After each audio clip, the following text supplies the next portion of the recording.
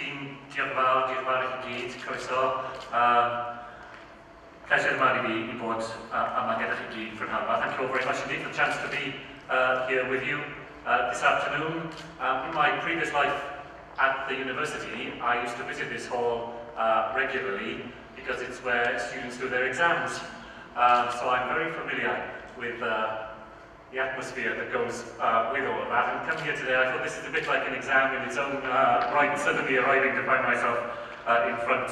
of you all. But it is a great pleasure uh, to be here with you, a great pleasure to be uh, with Jean as the Chief uh, Nursing Officer, whose uh, advice I have benefited from considerably the last uh, few weeks and even in the busy uh, diaries that ministers uh, have, I'm pleased to say that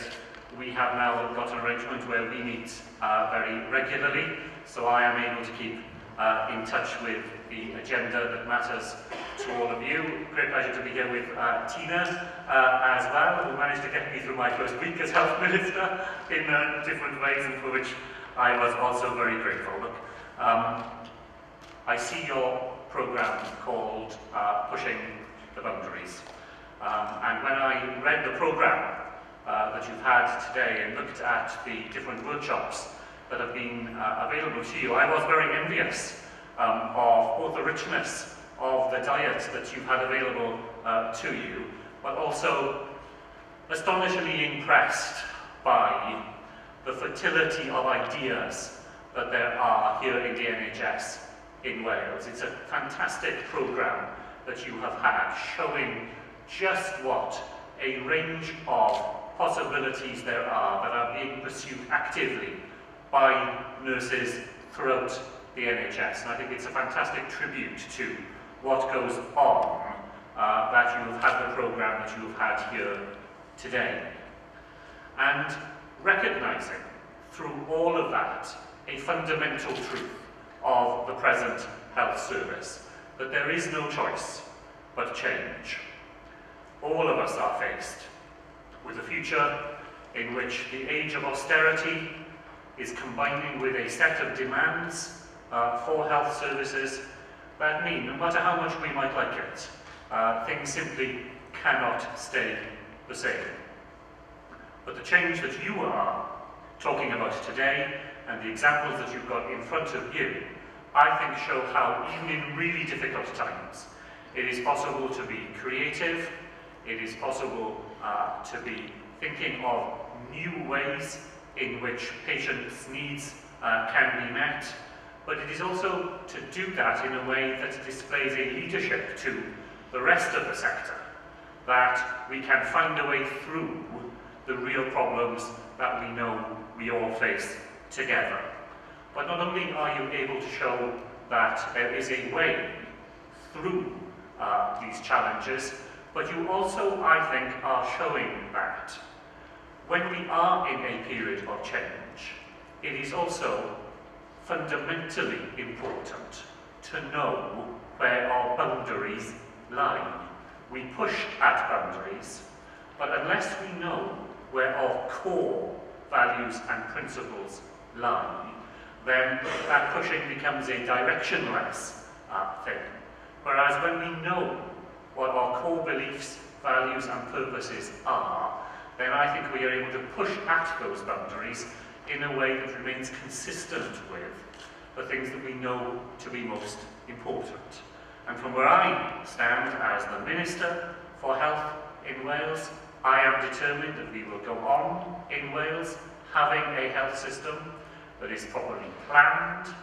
that is provided on the basis of equity that is animated by a sense of public service, that it will remain a health service rooted in those things which have made it the most important and the most valued public service that we have. And I could see, I thought, in the programme that you have uh, here today, another core and fundamental truth about health, which is that it remains the last outpost of the welfare state. And when the housing department has left your estate, when the social services department has retreated behind a call centre, um, when the electricity showroom has closed down,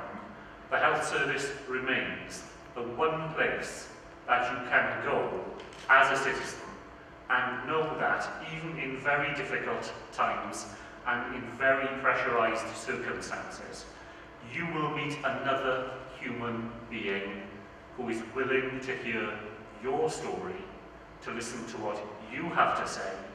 and to respond to you as one human being would to another. And in what nurses do, that fundamental sense of a human encounter rooted in a belief that care is fundamental to what we do, I think is one of those rooting principles that means we can push uh, boundaries without losing touch with the really important things that matter. That's why the quality of care will have run, I know, like a theme throughout everything that you have talked about here today. That's why the jobs that you do remain so valued by our fellow citizens. That's why the work that you do in all the different settings of the NHS across Wales continues to enjoy the support of people in Wales at a level and at a degree that would be the envy of any other public service. And as we go ahead and as we reshape our health services uh, for the future, making sure that we remain true to these routine principles, I think, is our guide through some difficult territory ahead. So I just wanted, uh, on behalf um, of the government in Wales, but much more importantly,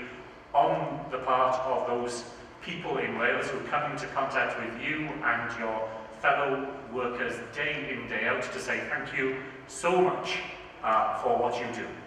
um, for you to know just how much it is appreciated, and for you to know that as you help us to shape the future uh, that we look to design uh, here in Wales, that appreciation, that sense of connectedness to the lives of other people will be an essential asset in shaping the future we want to bring about. Diolch yn fawr iawn i chi.